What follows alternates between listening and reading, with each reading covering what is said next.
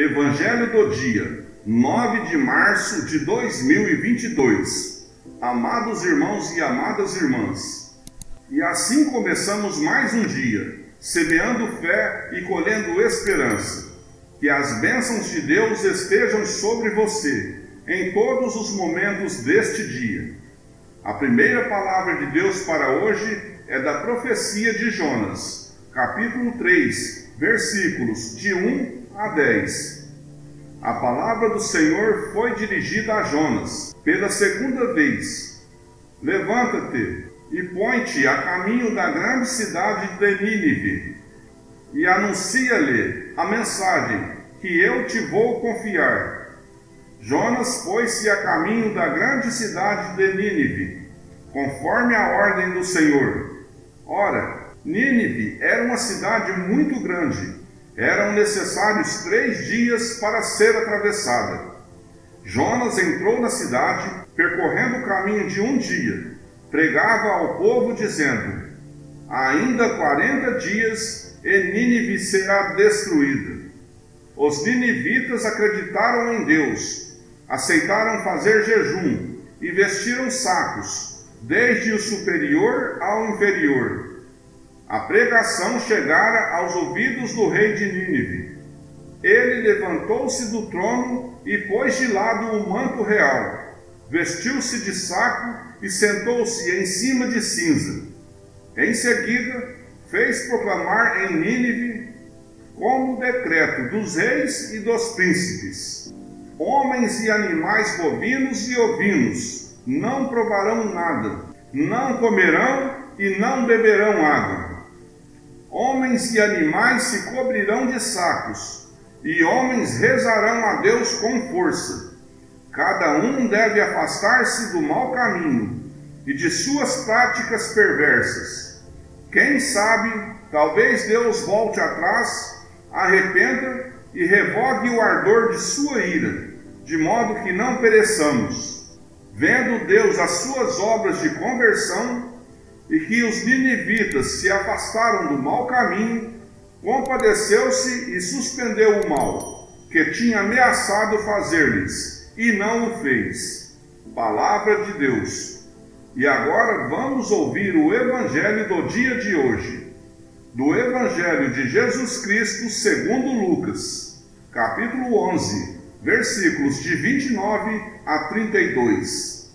Naquele tempo, quando as multidões se reuniram em grande quantidade, Jesus começou a dizer: Esta geração é uma geração má.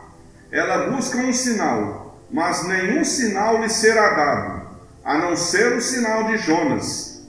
Com efeito, assim como Jonas foi um sinal para os ninivitas, assim também será o filho do homem para esta geração.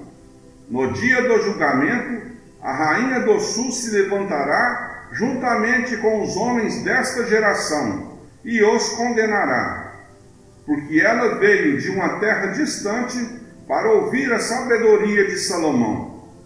Aqui está quem é maior que Salomão. No dia do julgamento, os ninivitas se levantarão, juntamente com esta geração, e a condenarão, porque eles se converteram quando ouviram a pregação de Jonas.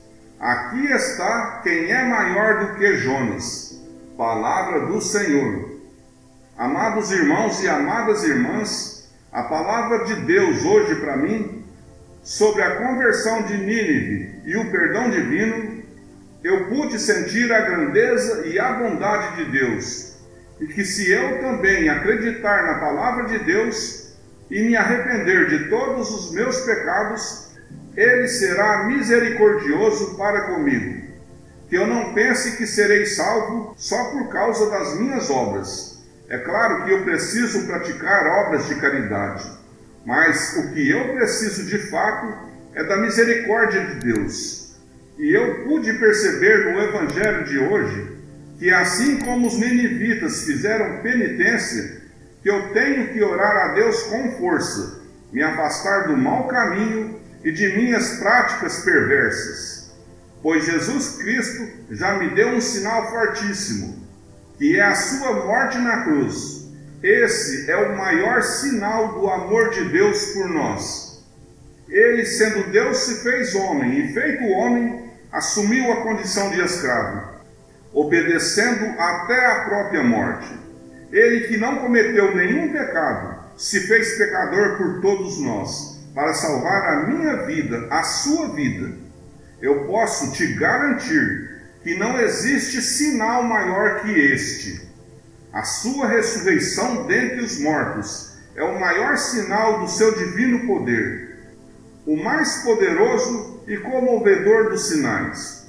E o versículo do dia que me chamou muita atenção é o versículo do livro de Jonas, capítulo 3, o versículo 9.